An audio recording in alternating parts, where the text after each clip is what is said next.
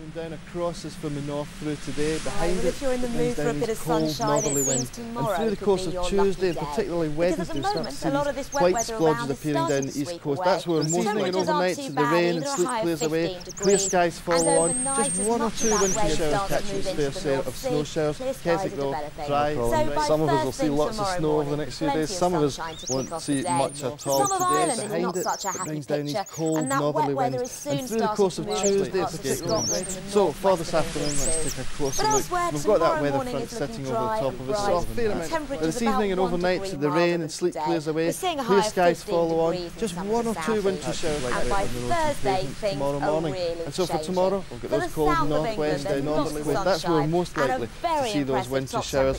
Western part.